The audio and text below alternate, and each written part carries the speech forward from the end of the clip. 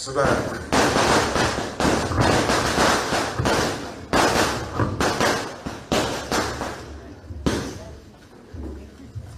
සුබ මධ්‍යයනයක් සිදු දෙනාටම මේ ඡන්දය පරාජය කරන්න මූලිකම හේතුව.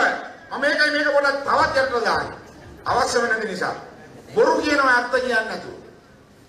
ඒකට හේතුවක් තියෙනවා. මම එදා කිව්වේ කතාවක්. සජිත් මහත්තයට 142ක් හම්බුණා. ගෝඨාභය රාජපක්ෂට 152ක් හම්බුණා. මේක කවුද කරේ? මේ සෙට් එක මේක නෑ මේක හොඳයි. ඒක විතර අඩු ගන්න මොනවා හරි කියන්නේ කියන එකක් හරි දාන්නේ. අනිත් ඒවා නම් වැඩම අනිත් එක නෑ අනිත් නෑ.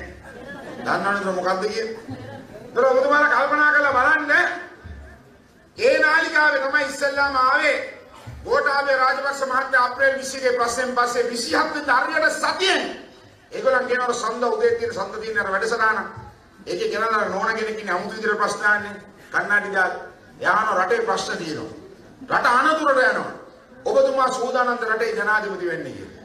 එතන මෙයා කියනවා ඔව් මං සූදානම් රටේ ජනාධිපති. ඔන්න 27 21 ප්‍රශ්න වෙනවා 27 බඩු පයින්නවා එළියට. අර බලන මල්ලෙන් එළියට බැන්නා වගේ මෙන්න ගේම් ෂෝ එක පටන් ගන්නවා. මොකක්ද උනේ ඉස්සරම අපිට ගාගෙන ගහගෙන ගාගෙන ගාගෙන ගියා.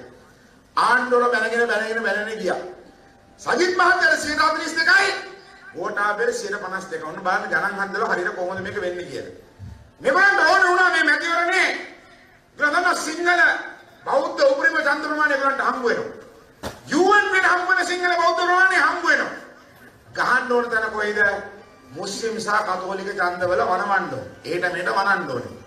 ඒ නිසා තමයි ඔය පාස්කු ප්‍රහාරය නිර්මාණය කියන එක මම අද බය නැතුව කියන්නේ. මේක